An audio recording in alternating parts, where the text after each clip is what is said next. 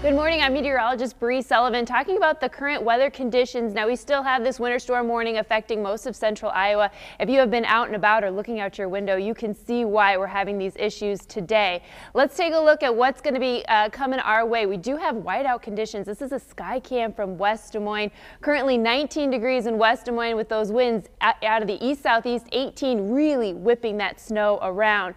This radar, you can really see it is expanding off to the northeast. It's almost state statewide, very widespread across central Iowa. These darker shades right here, those are heavier bands of snow. So it did just lift through the metro. There's more dark bands behind it, so we will continue to see more snow fall through this afternoon. I want to take a little look down to the southwest just a little bit. You can start to see a little bit of clearing, some pockets of clearing, but this pink, that's going to be some freezing rain and some freezing drizzle that is going to start to expand northeast in towards the metro I-80 corridor. So we are going to see some ice on top of this snow, which will put a glaze and it is of course dangerous to drive on. This is a very large system. Obviously we are on the cold snowy side of it, but it does stretch all the way back down into Texas as rain. So it is a large system. It is moving through. It will be with us today, tonight, and wrap up early tomorrow. These totals now bear with us because they're coming in. They're continuing to rise, however, but so far Osceola up at two and a half inches, Mount Ayr just under that, Audubon Yale up over two inches. Atlantic had an inch at around 8.30 this morning, so totals are coming in. We're trying to input them as fast as we can. It's going to be kind of hard to measure because of the wind. It's also going to be very difficult to shovel when all is said and done because of the wind. Now visibility, if you are traveling anywhere up and down, look at this, I-35, a quarter quarter mile visibility all the way down to a half mile. So it is really tough to see, especially out to the west where we're continuing to see those heavier bands. Eastern Iowa, the snow is starting to move your way, is going to continue to be moving in your direction. You will see your visibilities decrease as well.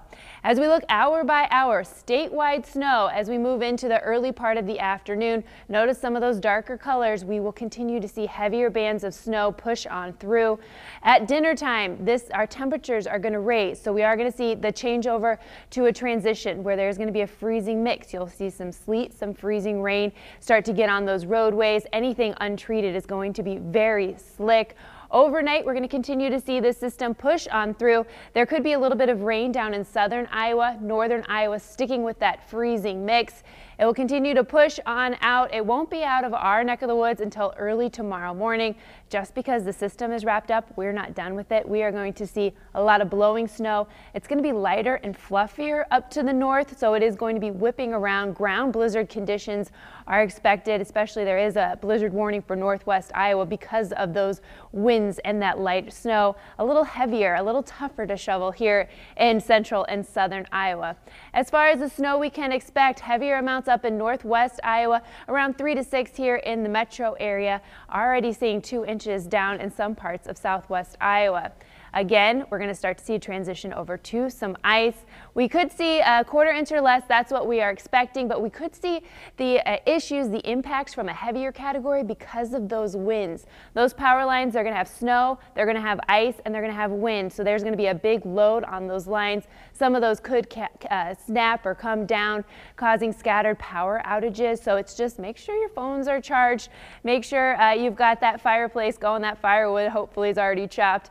Travel impacts, well, this afternoon, forget about it. Stay home today, tonight, and through tomorrow as well. It is going to be difficult travel. There will be that glaze of ice. We'll also see the winds will drifting the snow over the roadways. If you have any flights, you're going to want to check before you uh, make your way to the airport tomorrow.